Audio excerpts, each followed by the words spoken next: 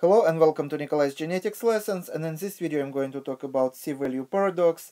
Actually this is not a paradox anymore but uh, in from the point of view of historical context it was a paradox uh, about 70 years ago when scientists uh, separated to two groups. Uh, one group said that DNA is a source of the heredity and source of information how to build uh, life and uh, source of all the instructions. And the other group of scientists uh, were thinking that uh, it is too primitive, only four bases, and life uh, have to be more complex and have to be written on the uh, proteins, or proteins how somehow have to be used. And uh, basically, at that time, uh, scientists did exactly what they are doing nowadays in physics in uh, colliders, for example, first speeding atoms in uh, magnetic tubes in magnetic field and then colliding them in a search of even smaller parts that atoms consist of. So at the first uh, half of the 20th century, scientists, biologists and geneticists uh, were trying to find as much information about DNA and they have found that, uh, for example, uh, DNA consists of four uh, base pairs, that is cytosine, that uh, base pairs with guanine, and they didn't know that, by the way, and adenine would base pairs with uh, thymine. Uh, what they have found?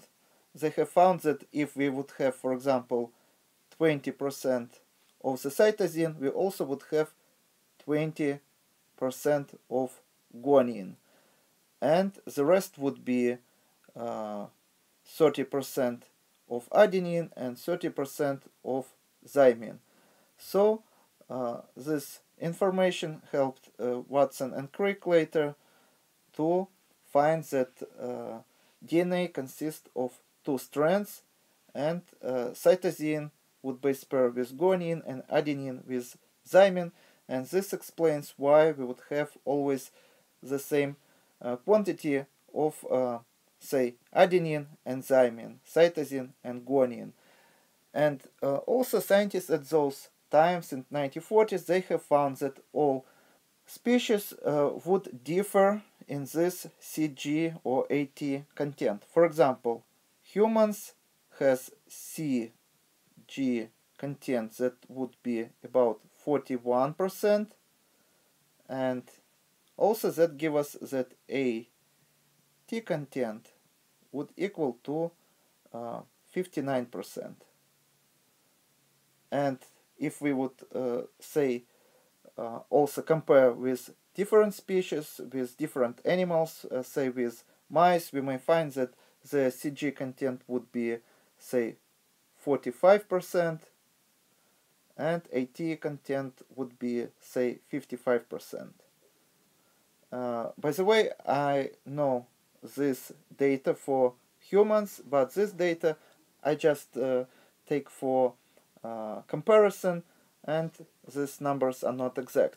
I'm not sure about uh, what we can find in mice, but I know that all the species and scientists also know at that time would have different CG content and AT content and just by looking at these numbers we can say oh no this is not human uh, genome this is mice genome.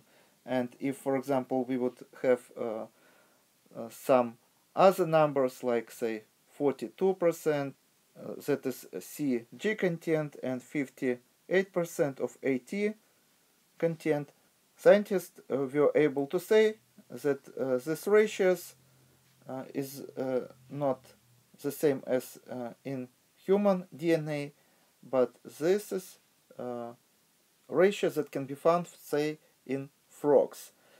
But uh, scientists didn't understood uh, all these ratios, why all species uh, have different uh, ratios and different DNA content.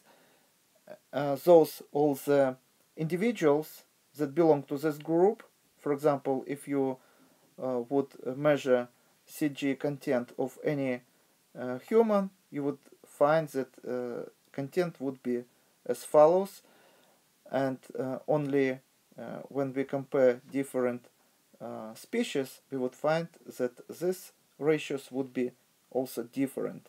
And if DNA would be coded by uh, four bases, for example, one strand would be A, T, C, G, A, T, C, G. We expect that other strand also would be T, A, G, C, T, A, G, C. So we can expect that about 25% of the DNA would be adenine, 25% uh, we expect it to be thymine, 25% we expect it to be cytosine, and 25% we expect it to be guanine. Why these numbers are not even? So why we do not get here 50% and 50% here? Why in other species we also do not get 50% and 50% here?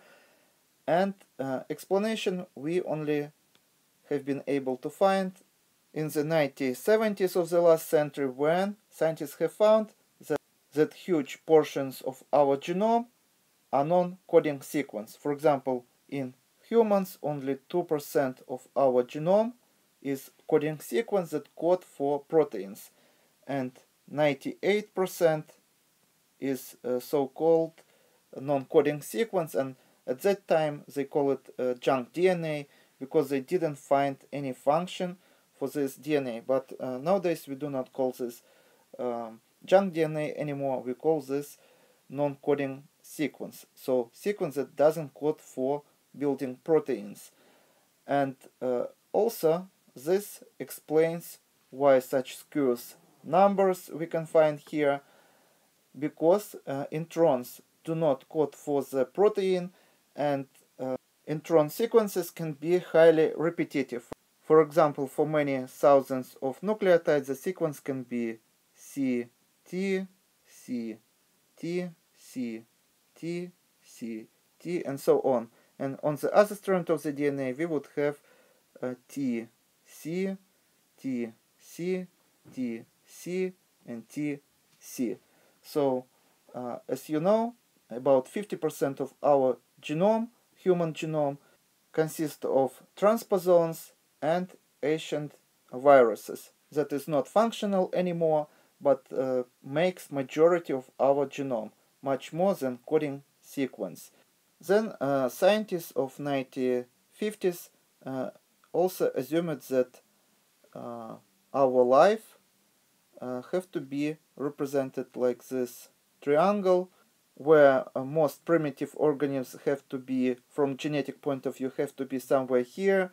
Somewhere here we should have uh, organism uh, that is like uh, salamanders for example. And here we should have such organism like mammals. So we expect that uh, genome size of uh, this organisms have to be small and this organisms have to have bigger size of the genome and this organisms have to have higher size of the genome because we are more complex than, for example, bacteria. And this is uh, such a way of thinking, of course, uh, makes sense. And then scientists uh, started to um, compare genome sizes, and they have found that some protists uh, that have to be somewhere here at the very beginning of the uh, life, uh, if we would compare complexity, have genome size that is bigger than those of humans.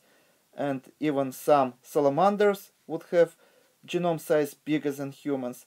And many plants also have a size of the genome bigger than humans. More than that, they have found that even within the same group of species, uh, some of the species uh, can be different from the other ones from genetic point of view by the scale of uh, tens and hundreds and even thousands of times. So just imagine the same plant in the same uh, group of species may have a genome size say 1 billion um, base pairs and another one uh, we know that uh, in the same group of species would have genome that would be 50 billion of base pairs and that is about 15 times bigger than human genome.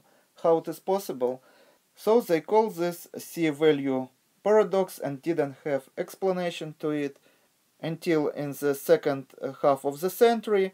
Uh, scientists have found that uh, some plants, for example, can be uh, not only diploid but also can be triploid, so would have three sets of the uh, chromosomes instead of two, and uh, you probably even use such plants every day. The uh, products, the fruits, for example, watermelons that is seedless or bananas, both uh, would be triploid. And many, many other fruits that doesn't have seeds probably would be triploid too. Some of them are triploid by uh, nature.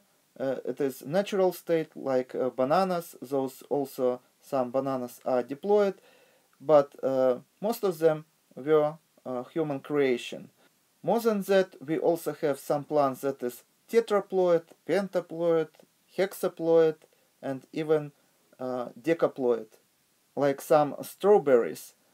Polyploid plants usually grow a little bit slower, but uh, would grow uh, bigger, would have bigger leaves, would have bigger fruits.